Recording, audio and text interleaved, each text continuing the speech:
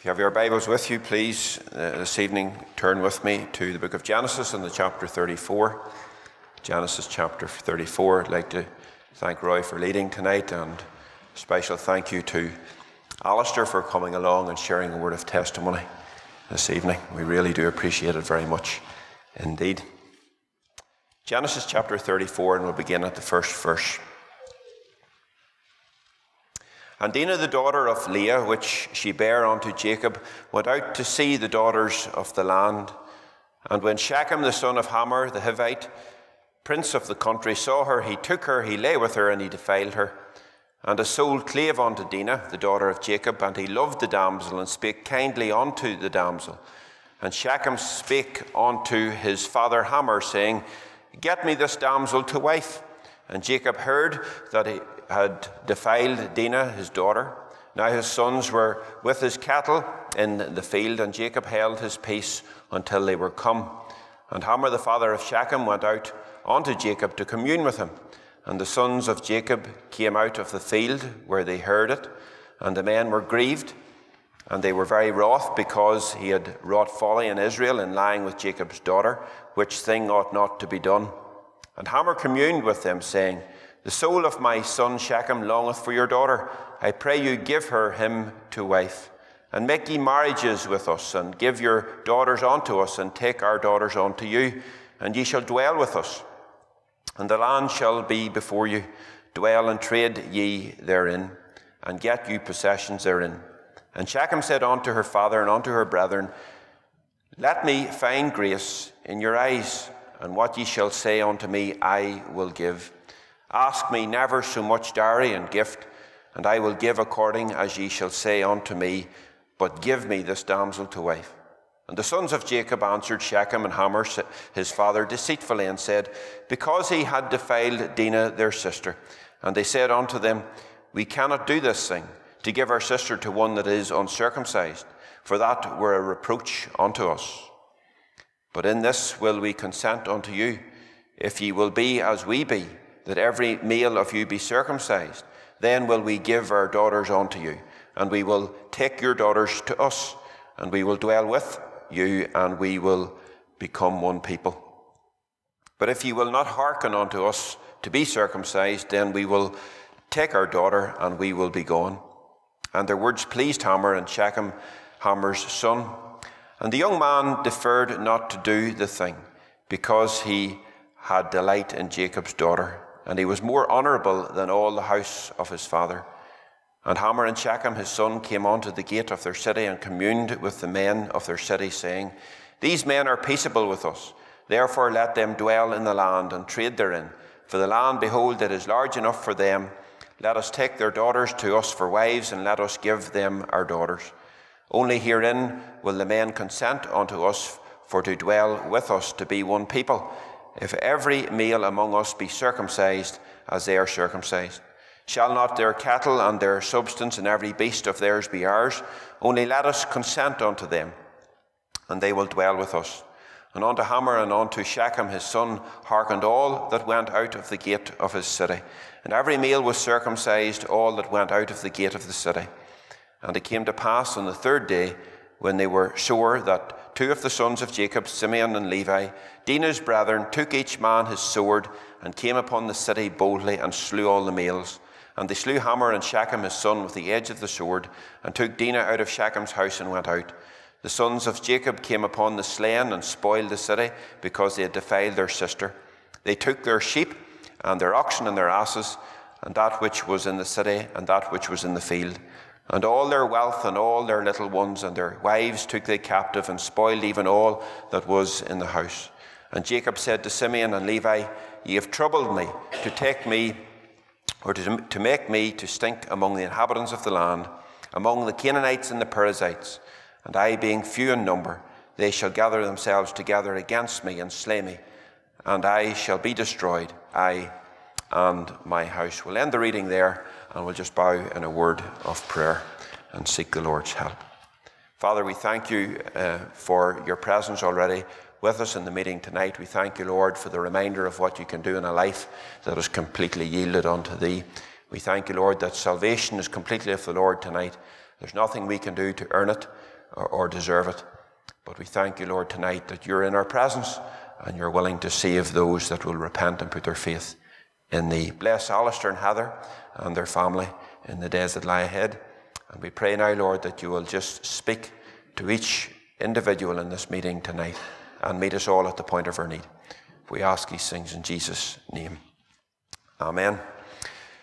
You may recall that Esau was planning on killing his brother Jacob just as soon as his father would pass away because Jacob had cheated him out of his father's blessing. His mother Rebekah heard of the plan and persuaded her husband Isaac to send Jacob to Paddan Aram, where Rebekah's brother Laban was living. As far as we know, Isaac knew absolutely nothing of this assassination plot on Jacob, and as far as Isaac was concerned, he was only sending Jacob to get a wife from one of Laban's daughters. Just one wife, which has always been God's plan for one man. From creation, we know that Adam had only the one wife, and here Isaac had only the one wife, which makes him actually unique among the patriarchs. And he wanted Jacob only to have one wife as well. And to be fair, that was what Jacob had planned when he fell in love with Rachel. But you know, when we're far from home and fall into the wrong company, unexpected and sometimes bad things can happen. As many young Christians prepare and begin university and stay in halls and other forms of accommodation and they make new friends and are far away from home, they must make sure that they're not far away from God. Because when we're far from home and far from God, unexpected and sometimes bad things can happen. Jacob arranged with Laban to work seven years for Rachel's hand in marriage. She is described as being beautiful and well favoured. It probably was love at first sight. He was head over heels in love. All he could think about from morning to night was beautiful Rachel. But when the big day arrived, the man who had once tricked his father into giving him a blessing instead of his brother Esau, he was the one that was now tricked by his father in law into marrying the wrong daughter.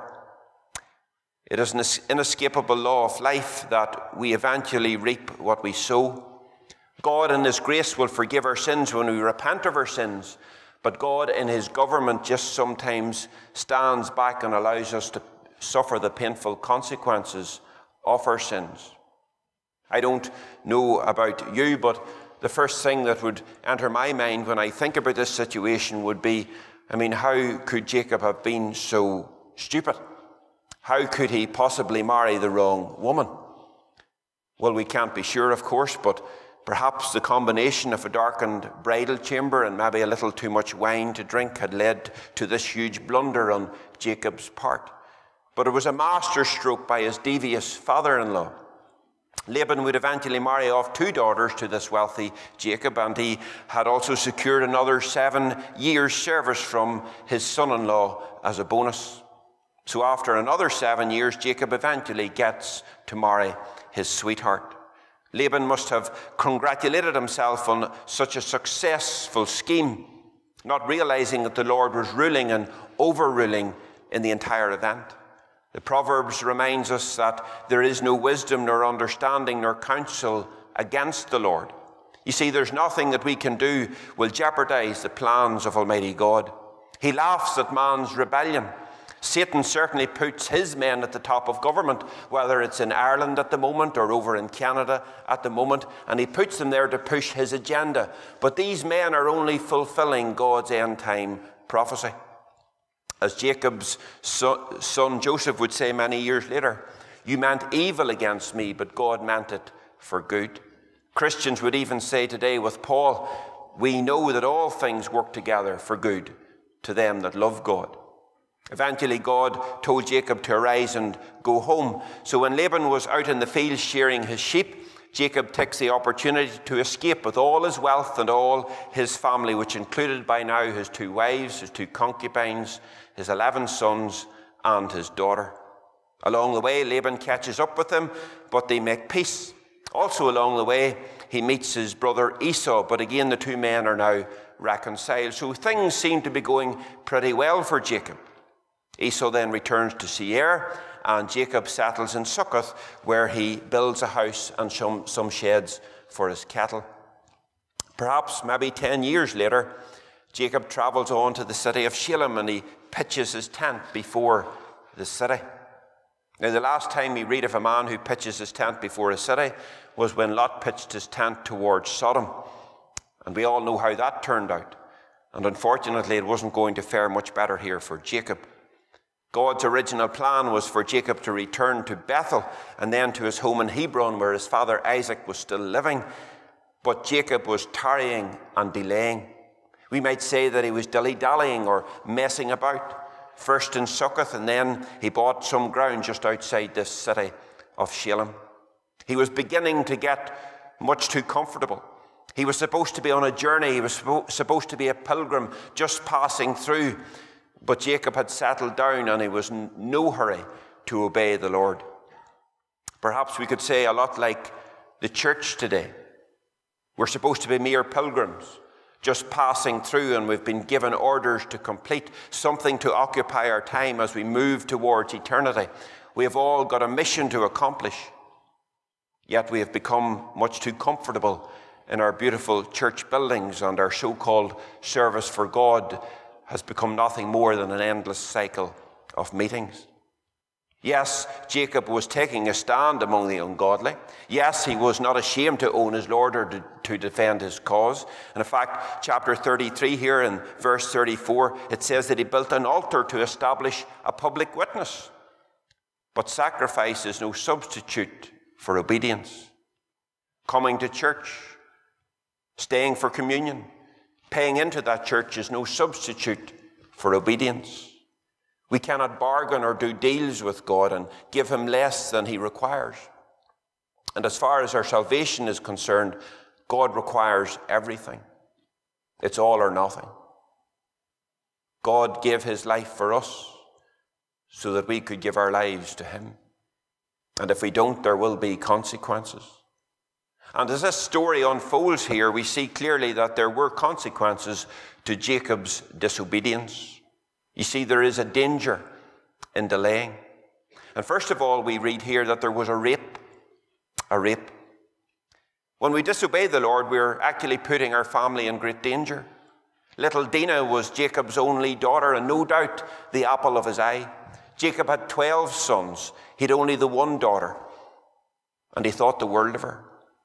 She would have been able to wrap her daddy around her little finger, get him to cave in at her every request.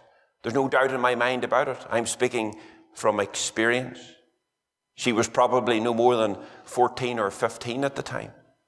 Dinah may have been pestering her daddy about going out with the other Canaanite girls until he eventually gave in. She may have been naive. She may have been curious. She may have been even rebellious. Yes, there were rebellious teenagers even back in biblical times. But maybe she was just ignorant of the traps that the devil can set for young people. Whatever it was, that day was going to change her life forever. Verse 1 says that she went out to see the daughters of the land, probably a dance or some sort of party. Having no one of her own age and gender at home, she was probably bored. You know, teen- teenagers can get bored, and often they seek the cure for their boredom in the wrong way. Idle hands are the devil's workshop. Paul said that those who waste their time in idleness are very easily led into sin. He told the Thessalonians that we hear that some among you walk in idleness, not busy at work, but busy bodies. Idle, of course, it means lazy or doing nothing when you should be doing something. And often it stems from not having a specific purpose or goal in mind. With no goal, we can be easily distracted. We live in a sinful world, and a person who doesn't have something to do will be tempted to do something sinful. If we have nothing to do, the devil is always too eager to find things to occupy our time. Jesus told us to pray for workers to be sent into the harvest field, not idlers. Idlers are no use to God. There is work to be done for the kingdom. Souls are perishing, and we must not be distracted by the things of the world or even waste our precious years on the entertainments of the world. Dinah had become lured away into the world.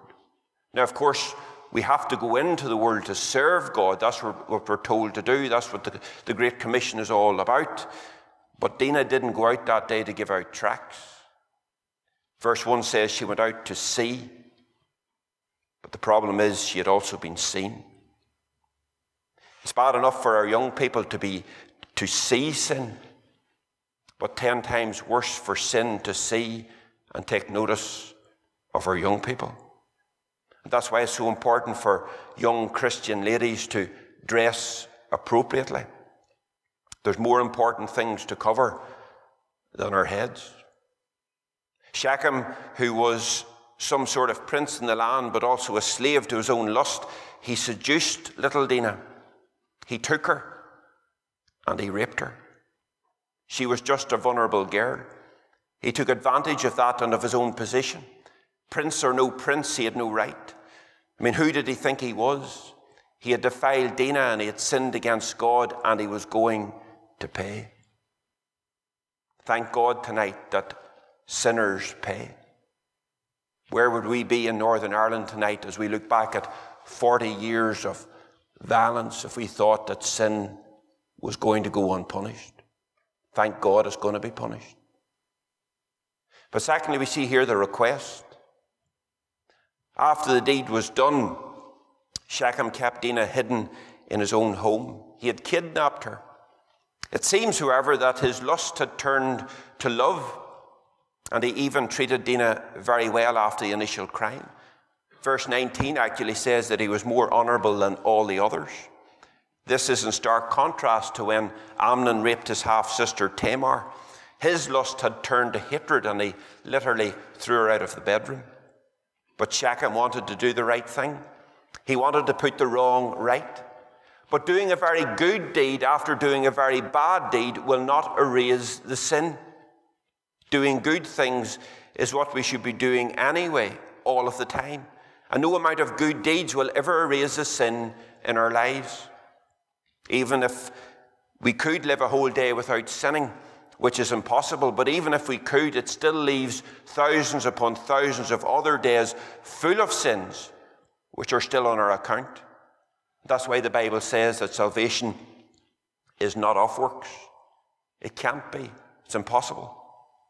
Shechem's sin of rape, which in our culture is paedophilia as well, because Dinah obviously was under the, the age of consent.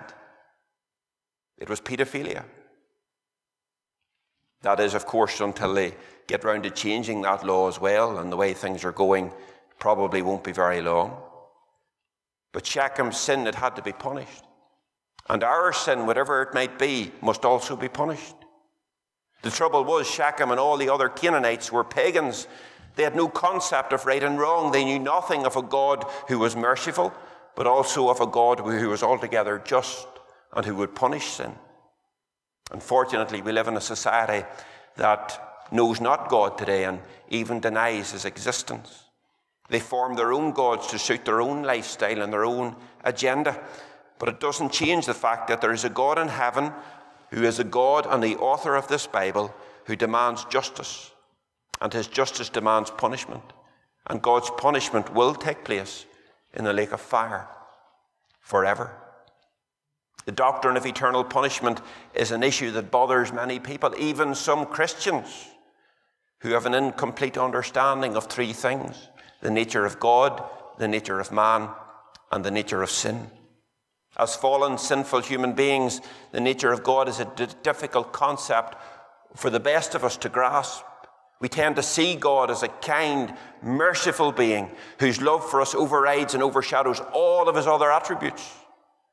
Of course, God is loving, God is kind, God is merciful, but He is first and foremost a holy and a righteous God. So holy that He cannot tolerate our sin. He is a God whose anger burns against the wicked and the disobedient. He is not only a loving God, He is love itself. But the Bible also tells us that He hates all manner of sin. And while He is merciful, there are limits to His mercy.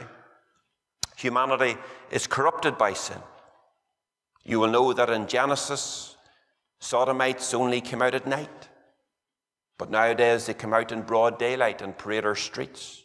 But whatever sin it is, it's always directed against God. When David sinned by committing adultery with Bathsheba and having Uriah murdered, he responded with a very interesting prayer.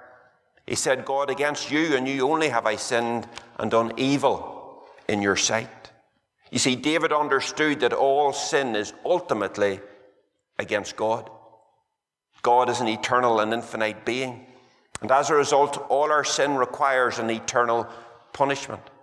God's holy, perfect, and infinite character has been offended by our sin. Although to our finite minds our sin is limited in time, to God who is outside of time, the sin that we commit and that He hates goes on and on and on and on. Our sin is eternally before Him and must be eternally punished in order to satisfy His holy justice. No one understands this better than someone that is presently languishing in hell. And a perfect example of that is the rich man and Lazarus. Both died. The rich man went to hell and Lazarus went to paradise. The rich man was aware that his sins were only committed during his lifetime on earth. But interestingly, the rich man never says, How did I end up here? That question never ever enters his mind. He doesn't even say to God, You know, God, do I really deserve this? Don't you think, God, this is just a little bit extreme, a little bit over the top? No. He understood why he was being punished. He only asked that someone be sent back to earth to his brothers to warn them, to warn them of this place. And tonight we're being warned. Like the rich man, every sinner in hell has a full realization that he deserves to be there.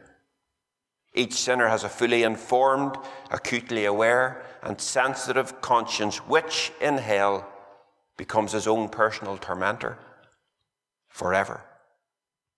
The rich man knew that eternal punishment for a lifetime of sins is justified and fully deserved. That is why he never protested. He never questioned being in hell.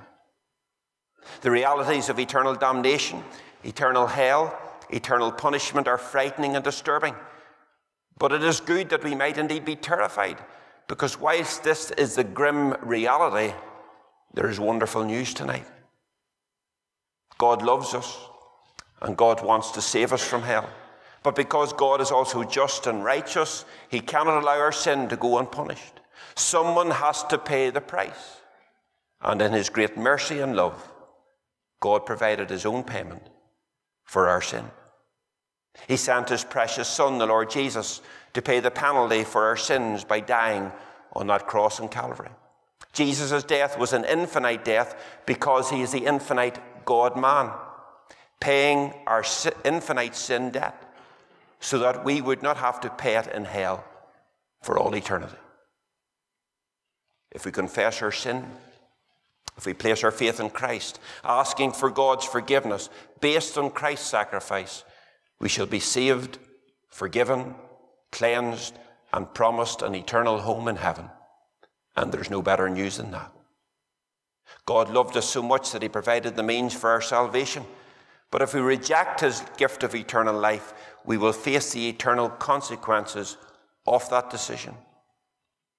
But here, Prince Shechem or the Canaanites, they knew nothing of the punishment or indeed the mercy of God. Proverbs says, There is a way that seemeth right unto a man, but the end thereof is the ways of death. You see, Shechem attempted to put the wrong right. His way, verse 4, was to send his father to Jacob as a mediator to do the deal but it would end in death. I wonder if there is there someone here tonight and you've been trying to all your life to put the wrong right by your methods and by your ways. Well, my friend, it's going to end in death. Hamor ends up negotiating with the whole of Jacob's family. Shechem will have Dinah on any terms. He is so in love with her. Hamor explains the advantages of such a wonderful union. They can dwell and do business together, and Israel's sons can marry Canaanite daughters. It all sounds so wonderful. But the weasel words from false teachers also sound so wonderful. But it doesn't change a thing because there's only one way. If it had been left perhaps to the two fathers, maybe a more peaceful outcome would have taken place. But Jacob's sons had now become the chief negotiators, and in verse 13, things took a more sinister twist. And thirdly, we see here the requirement. In order for the deal to be done, the sons of Jacob required that the Canaanites be circumcised and become like them. But it would take more than circumcision to make, to make Canaanites into Jews. And in the same way, it takes more than observing ordinances or sacraments to make sinners into Christians and to turn children of the devil into children of God. Jesus hit the nail on the head when he said, Except ye repent, ye shall all likewise perish. There must be a turning away from sin and a turning towards the Saviour. Everyone who wants to get to heaven must enter through the straight gate and walk along the narrow way. No man can be born again by his own efforts. It is a supernatural, one time event, a miracle that only God can perform. When Jacob's sons were told of what happened, to their little sister, they were naturally grieved at that sin and angry at this pervert prince, and rightly so. But instead of declaring outright war, they pretend to seek a peaceful outcome with their neighbours. It appears they want to strike a deal, do business together, and intermarry, and all the men of Shalem had to do was agree to be circumcised. The Canaanites also saw this as an opportunity to absorb Israel, gradually possess their wealth and their people. But the real deception was on the part of Jacob's sons.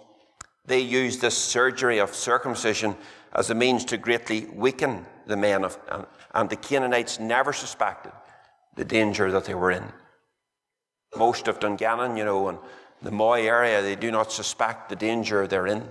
In spite of all the opportunities they've been given, in spite of the open airs at the top of the town, in spite of the services in the park during the summer, in spite of all the endless invitations in the Tyrone Courier to come in under the word. And soon it will be too late. Finally, we see here the revenge. At a time when the males of Shalem were in the recovery stage and in too much pain to put up a fight and defend themselves, Simeon and Levi, two of Dinah's full brothers, they rallied some men within Jacob's camp and they attacked. There was no mercy shown. They killed Hamor and Shechem and all the males of the city. Then they looted the city and took captive the women and the children, and they managed even to rescue their sister. It was a well planned operation, which was a complete success. Shechem had tried to atone for his own sin that day, but he had paid with his own blood. And if you're here tonight and all your life you've been trying to atone for your own sin, this is how it's going to end up. The Bible tells us that it's only the blood of Jesus Christ that can cleanse us from every sin. It was a wicked thing to do. And when news came through to Jacob, he was both angry and indeed frightened. For many years, Jacob had lived in peace. He had taken up a sickle and farmed, but now his sons had taken up a sword and killed. Their actions had ruined Jacob's testimony among the heathen. How could they be representatives now of a God of love and mercy and compassion when they would always be remembered as a people of slaughter, blood, pain, and death. You see, our actions will often speak louder than our words. If we cannot live like Christians, then there's very little point in speaking like Christians. James says, For as the body without the spirit is dead, so faith without works is dead also. Simeon and Levi's actions did not display the faith of a believer. Faith without works is dead faith because the lack of works reveals an unchanged life or a spiritually dead heart. True saving faith will result in a transformed life. How we live reveals what we truly believe. James is not saying that our works make us righteous before God, but that real saving faith is demonstrated by good works. Works are not the cause of salvation, but works are the evidence of our salvation. Faith in Christ always results in good works. The person who claims to be a Christian but lives in willful disobedience to Christ has simply a false or dead faith and is not saved. Many profess to be Christians, but their lives and their priorities tell a different story. Jesus, Jesus put it simply by saying, You will know them by their fruits. The message of Jesus is the same as the message of James. Obedience to God is the mark of true saving faith. Faith without works is dead because it reveals a heart that has not been transformed by God. When we have been regenerated by the Holy Spirit, our lives will demonstrate that new life within us. Paul said, Therefore, if any man be in Christ, he is a new creature. Jacob's testimony was ruined that day before the people of the land. What was the point in building an altar to worship the one and true God before his pagan neighbours if his sons were going to act like pagans? You see, there is no point in putting on a suit and a tie and even wearing a head covering for an hour on Sunday morning if we're going to be a pagan in business the rest of the week. What's the point? Who are we trying to kid? This was the danger of being sluggish in obedience. Jacob's daughter had been raped, his sons had become murderers. If only he had obeyed God at the start and went to Bethel, this never ever would have happened. Perhaps there's someone here tonight and you've heard the gospel call and you know what God requires you to do, and you have even decided in your heart that this is what you will do someday in the future. But like Jacob, you're dilly dallying in that decision. Oh, yes, you intend to get there someday, but you're still knocking around with the world in Shalem. You're still sitting on the fence. You're neither hot nor cold. You're still halting between two opinions. But as we have seen tonight, there is a danger in delay. Not only for you, but for your sons and for your daughters. Why should your family stay out of the world when you're still flirting with the world yourself? Jacob found out the hard way. It is a warning to us all who are sitting on the fence tonight not to find out the hard way. God is calling each of us today to come on to Him. Now is the accepted time, and now is the day of salvation. Don't wait, folks, until it's too late. There is a danger in delay, and the consequences will be disastrous. But there is good news tonight. We know what it is. We just need to finally accept it, take it, own it, live it, embrace it, experience that abundant life that God has for you and wants to offer you even this evening. We'll pray.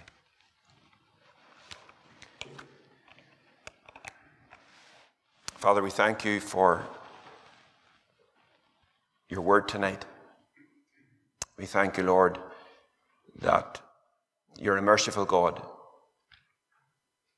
But we thank you for the reminder that there is limits to your mercy. You're a long suffering God, but eventually, eventually your patience will run out. And there is a great danger in delay. And Father, we pray if there's anyone in our meeting tonight that's perhaps has the best of intentions to get right with you someday. Lord, let them realize that that day may never come. There's a danger in delay. We thank you, Lord, that now is the accepted time. Behold, now is the day of salvation.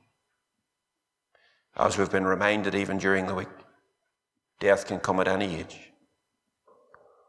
No one is guaranteed to live a long and happy and prosperous life. And it's so important that we're ready today. Thank you, Father, that you're a God of justice. And we can rejoice tonight, Lord, as Christians, because we know that one day sin will be punished. But Lord, we pray for those that are sinners in our meeting tonight, that they will accept the work on Calvary so that they won't have to be punished for their own sin. Thank you, Lord, for the testimony tonight. Thank you, Lord, for your word tonight. And as our children and young people head off to school again tomorrow and back into another term, Father, we pray for your hand upon them. We pray that you'll put your loving arms around them. We pray that you'll bless them and keep them safe. We ask these things in Jesus' name. Amen.